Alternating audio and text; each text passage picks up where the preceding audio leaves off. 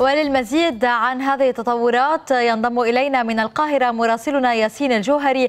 أهلا بك ياسين. لنبدأ وإياك من أهمية تحويل المنتدى إلى منظمة وتتخذ من القاهرة مقرا لها.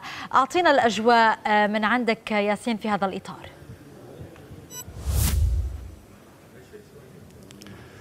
نعم رمزة يعني بالفعل كما ذكرت قبل قليل تم التوقيع على الميثاق الخاص بتحويل منتدى غاز الشرق المتوسط إلى منظمة إقليمية. هذه المنظمة التي دعت إليها مصر في بداية عام 2019 لسبع دول من الدول المطلة على البحر المتوسط. وثم في عام 2020 تم التوقيع بالأحرف الأولى في بداية هذا العام على تحويل هذه المنظمة أو هذه هذا المنتدى إلى منظمة دولية. واليوم يتم التوقيع النهائي أو كتابة شهادة الميلاد الخاص خاصة بهذه المنظمة التي ستصبح منظمة دولية تساهم في تأسيس سوق مشتركة إقليمية للغاز في هذه المنطقة تساهم في تلبية الطلب على الغاز خاصة في ظل ثروات الغاز التي تم اكتشافها مؤخرا في منطقة البحر المتوسط.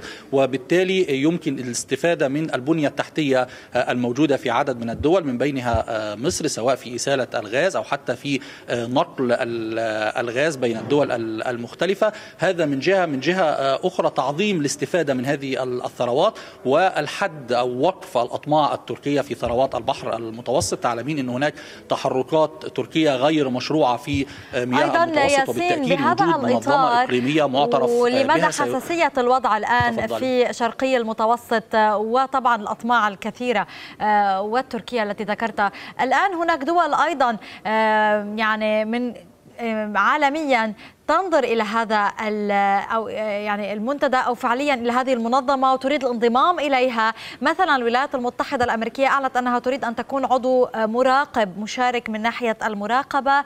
وفرنسا من جهتها قالت إنها تريد أن تكون عضو ينضم إلى هذه المنظمة. بالتالي كيف ستكون الأثار هنا؟ والى أي حد سنرى انضمام للمزيد من الدول؟ هل في لديك معلومات بهذا الإطار؟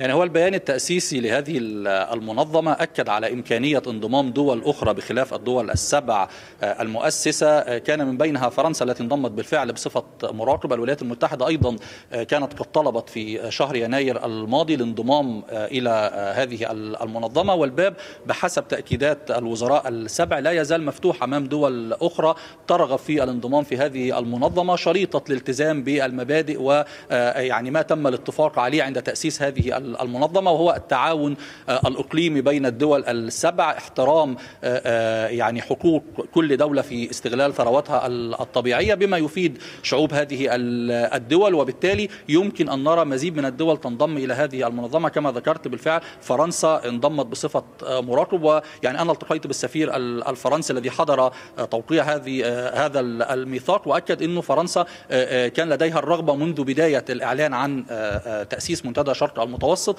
في الانضمام إليه وإنه نعم. هي ترى إنه هذه هي فرصة جيدة لهذه الدول أن تستغل ثرواتها في البحر المتوسط وأيضا تعظم من هذه الثروات. أيضا ياسين بشكل سريع لنعاول على الموضوع المتعلق بتحول مصر لمركز إقليمي للطاقة ضمن هذه الجهود، كيف سيساهم هذا الموضوع اليوم وهذه المنظمة كيف ستدعم دور مصر الإقليمي وكمركز إقليمي للطاقة؟ ما هذا هو جزء أساسي من يعني من رغبة مصر في تأسيس هذا المنتدى الذي دعت إليه في بداية 2019 وهو التحول إلى مركز إقليمي للطاقة. تعلمين إنه هناك اكتشافات كبيرة حدثت خلال السنوات الماضية في البحر المتوسط كان على رأسها حقل ظهر احتياطيات تقدر ب 30 تريليون قدم مكعبة. الآن الحقل هذا ينتج أكثر من 3 مليارات قدم مكعبة. إجمالي إنتاج مصر وصل إلى 7 مليارات بينما استهلاكها من الغاز يصل إلى 5 مليارات و800 مليون نعم. قدم مكعبة وبالتالي أنت لديك فائض في مصر من الغاز هذا الفائض يمكن استغلاله سواء من خلال تصديره إلى الدول الأوروبية أو استخدام مصر كمنصة أو كمركز لاستقبال الغاز من دول أخرى إعادة نعم. تسييله وتصديره مرة أخرى إلى أوروبا أو حتى استغلال جزء من هذا نعم. الغاز ياسين. داخل الأراضي المصرية وتحديدا في القطاعات الصناعية التي تتطلب غاز. شكرا جزيلا على كل هذه التفاصيل مراسلنا ياسين الجوهري من القاهرة.